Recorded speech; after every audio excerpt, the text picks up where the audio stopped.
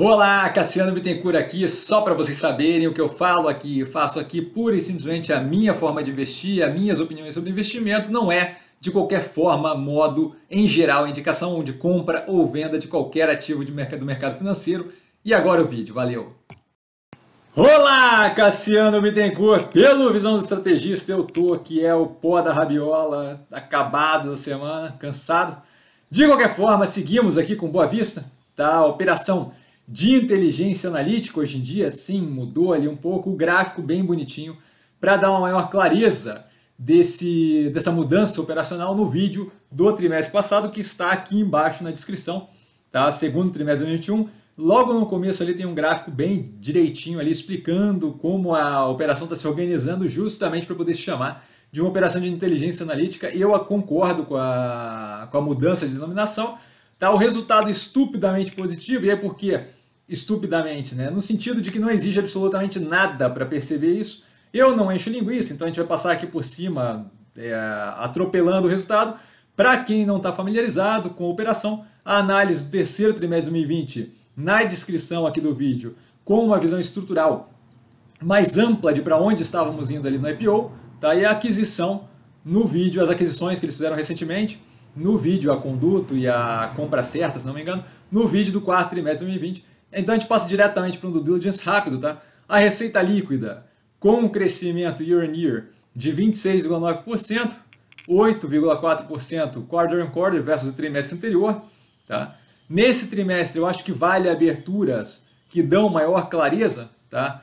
Quando eu olho para o custo de serviços prestados é, e margem bruta, por exemplo, é, por que isso? Porque deixa óbvio a evolução positiva e estrutural da operação, Tá? O custo vem caindo consistentemente como proporção da receita líquida, o que, o que é, deixa claro ali um ganho contínuo de eficiência na operação.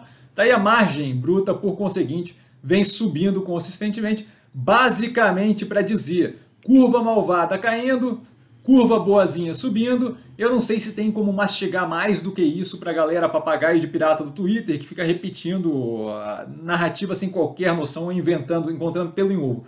Tá? Brincadeiras à parte, a gente segue. Tá? O EBIT ajustado com crescimento de 62,8% year on year, 24,9% versus o trimestre anterior. O, a margem vai a 52,6% versus 41,5% no mesmo período do ano passado e 42,4% do primeiro trimestre de 2021. Vocês podem notar que eu estou usando a margem mais é, conservadora possível ali para não ficar muito empolgado. De qualquer forma, super positivo. Tá? Para informação, como sempre, o EBITDA menos CAPEX, né, para dar uma noção ali do, do fluxo de caixa que ela tem, tirando investimentos. Tá? Então leve em consideração ali os gastos de investimento reduzindo ali, de qualquer forma, muito positivo o resultado ainda assim. O lucro líquido ajustado, 320,5% year on year e 94,3% quarter on quarter, não tem como não rir, tá? Retirados os não recorrentes, tá? Porque eu quero saber o quanto de fato a operação gera, não, não é o reflexo aí de uma ou outra coisa. De qualquer forma, mesmo sem retirar os, os, os não recorrentes, ainda assim muito positivo. Tá? Então, basicamente, sem comentários a fazer aqui, não é o ponto, o lucro líquido, mas, mas não deixa de ser bem positivo, tá? A abertura do CAPEX na tela, tá? continuidade do esperado, basicamente de investimento em produtos, e aí tem a abertura ali do lado para quem quiser dar um pause e dar uma olhada mais a fundo, mas basicamente mais do mesmo do que a gente esperava. A operação ali com uma gestão muito de continuidade, o que é bem positivo, tá? facilita bastante a análise e o investimento, sabendo para onde eles vão. O fato da operação estar com caixa líquido ali deixa uma abertura considerável para expansão e a operação, como dito inúmeras vezes, tem inúmeras negociações em andamento. Achei muito positivo que eles colocaram mais uma vez nessa teleconferência que eles não têm qualquer interesse nesse momento de fazer buyback de ação como dito na NeoGrid agora nessa operação novamente, não tem que ficar é, estimulando o mimo de acionista, tem que tocar o foco ali na operação e justamente crescer como, como empresa, como operação e não ficar é, tentando agradar acionista sem espinha dorsal. Tá? A abertura por segmento, só para dar um pouco mais de cor, tá? o pause para quem quiser. A gente tem na tela Analytics e relatórios, Tá? Só para quem quiser dar o pause, dar uma olhada ali nos pontos principais na direita, se não me engano, do gráfico. Tá? É, na sequência, Marketing Solutions e o antifraude, tá? que acaba ali sendo formado ali com mais é, a compra da conduto, né, se não me engano.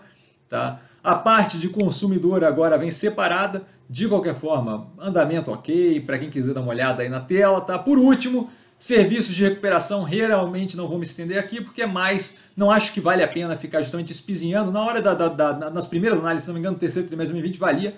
Agora eu acho que já está bem conhecido por todo mundo. Quem quiser voltar lá na análise, nenhum problema.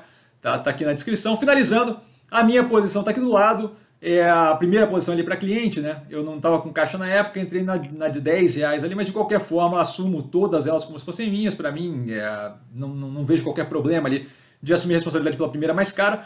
Pretendo sim aumentar é, a posição aqui nos preços que estão hoje em dia. Como o caixa está apertado, eu estou dando preferência para as operações mais contadas, caso de hoje, por exemplo, como o Modal Mais, mas não vejo por que não ampliar a operação, a, a posição aqui, caso continue nessa faixa de preço.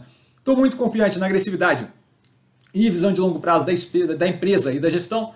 Tá? O operacional financeiro já mostra resultados ali de uma evolução bem robusta, tá? graças aos movimentos que eles têm feito. Os motores de crescimento a serem desenvolvidos ali são muitos, tá? e a geração de caixa e caixa líquido deixam forte espaço para justamente fomentar essa continuidade de novos motores de crescimento. O preço completamente, absurdamente, absolutamente, estupidamente descasado da realidade, longo prazo muito alinhado, sem pressa com fusão e aquisição, com M&A, Acho que eles têm que continuar justamente nessa toada de fazer as compras certas. A gente tem visto o resultado refletido ali no operacional financeiro que eles estão fazendo justamente o que eles devem fazer com a operação e não simplesmente cair na pilha de ficar fazendo buyback ou de ação ou ficar comprando qualquer operação para aparecer em jornal, tá? Dúvida? Eu tô sempre no Instagram, arroba investir com sim, não trago a pessoa amada, mas estou sempre lá tirando dúvida. E vale lembrar, quem aprende a pensar boa supera com um mero detalhe. É, um grande abraço a todo mundo. Amanhã é, de manhã a gente tem às 10 a Live by Warren e ao meio-dia justamente o Compondo a Tese, onde eu coloco os pontos que eu tenho visto de mais relevante é, durante a semana. Tá? Um grande abraço a todo mundo e valeu, galera. É isso.